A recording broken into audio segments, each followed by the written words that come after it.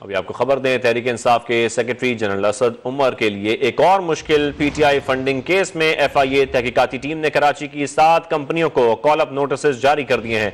मजीद जानेंगे senior reporter Javed Asghar से। जावेद तफसी नागा कीजिएगा।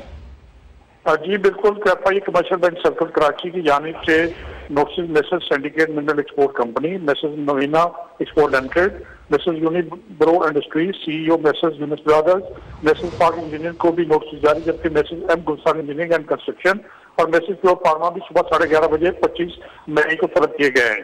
बैरून मुल्क से मसूल रकम के लिए कराची इस्लामाबाद दौर में इंक्वायरी शुरू की गई थी जबकि कंपनी को तेईस सितंबर और चौदह अप्रैल दो हज़ार तेईस को भी ज़रिए नोटिस बुलाया गया था। कंपनी को मुस्कुरा ट्रांजेक्शन के जिम्मे मुतल रिकॉर्ड और दस्तावेजा भी साथ लाने का कहा गया है।